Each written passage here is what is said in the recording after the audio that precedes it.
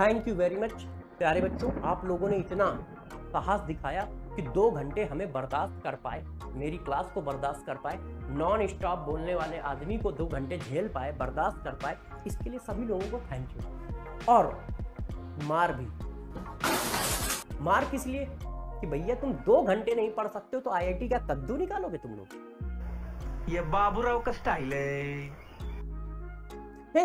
IIT कैसे निकालोगे? जब दो घंटे पढ़ने में तुम्हें टेंशन। है हम्म? कैसे निकालो तो ध्यान रखिए आईआईटी निकालने के लिए मेहनत करनी पड़ेगी, झोंकना पड़ेगा अपने को। नहीं तो एक कहावत तुमने सुनी होगी। एक कहावत तुमने सुनी होगी। क्या? कि बहुत लोग कहते हैं कि यार, हम गरीब पैदा हुए थे। तो आपने एक कहावत सुनी होगी, गरीब पैदा होना गलत बात नहीं है। गरीब मर जाना गलत बात है। तो यार हम कहाँ, कैसे सिचुएशन में हैं? ये कोई गलत बात नहीं है। हम गरीब थे, तुम गरीब हो, या मान लो किस सिचुएशन से हम लोग आए हैं, इससे कोई फ़र्क नहीं पड़ता। हमने क्या अचीव किया है? हमने क्या अचीव किया है? ये मायने रखता है।